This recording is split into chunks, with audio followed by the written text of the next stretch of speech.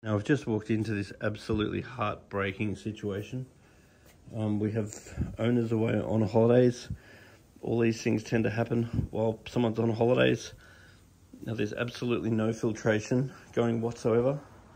The amount of sediment all over the pond is absolutely amazing. And the whole thing is full of fish food.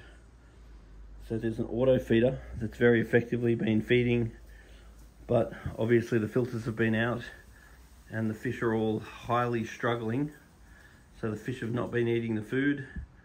The food is polluting the water and there's no oxygen in the water because there's no filters running and these fish are in terrible terrible situation and they need urgent attention i've already pulled a whole bucket of dead fish out and all the rest of them will die very quickly unless we're able to drastically improve this water quality. Now what happened here is I had a huge amount of leaf all, all over the strainer which clogged up the strainer and now I did a bit of a backwash on the filter. Um, now we've got the filter running so we've now got some oxygen in the water. I've also turned off the auto feeder because since the um, trees have been dropping leaves and the customer has been away. And normally the customer will um, just fix the leaves himself every few days. But over this period of time it's also been super humid and very hot in Sydney right now. So this is about the worst time for your fish when you go away.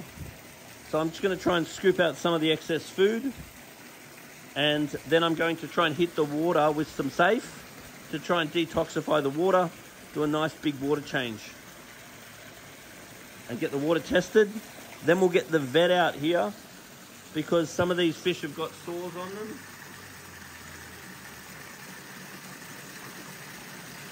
Trying to get a photo of the sores, but they've got significant bacterial sores on them. So we really want the vet out here to um, give us access to some veterinary medications to stop the fish getting sick. If you have a fish pond, even a very basic top-up system like this, probably one of the best things that you can get. That way, as your water evaporates, it gets replaced small amounts regularly. So if you have a fish pond or an aquarium, arranging a top-up, even as simple as that, is a very, very good idea. So this pump was trying to run, but because the filter inlet was clogged up with leaves, it couldn't run. And then the filter was trying to work, but it wasn't doing anything at all. I even saw insects flying around inside here. So I did actually backwash this filter. Um, I'm just gonna switch it to backwash again. Just backwash it.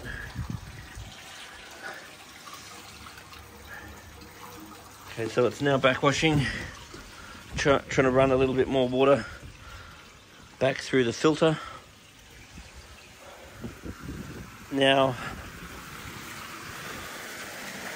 filter inlet's cleaner than it was. I've just removed some water out of the pond so I can take it down and get it tested. The next thing I'm going to do is put a bit of polyfilter in here.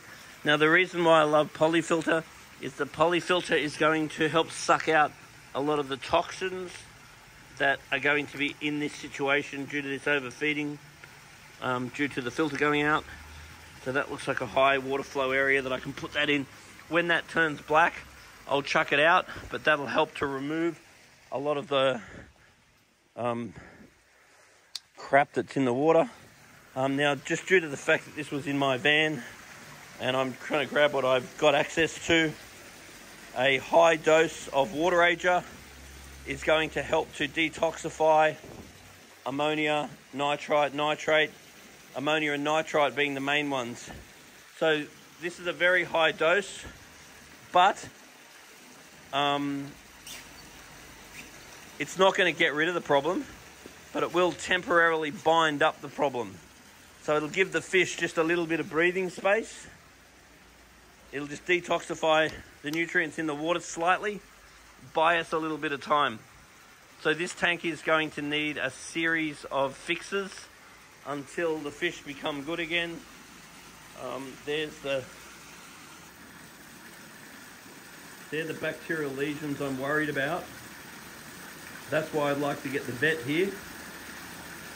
Because when you get issues like this, in the aquarium trade, we can fix the water quality, we can fix the filtration, but we really don't have access to the same sorts of veterinary medications. So as an aquarium or an, as an aquarist, we really need to have a good relationship with a vet because a vet is going to be able to give us medications that are more effective than we are able to be able to um, give you. Just like if you go to the chemist, a chemist can give you things to solve your problem, but if you want the real good stuff, you're going to go and see a doctor.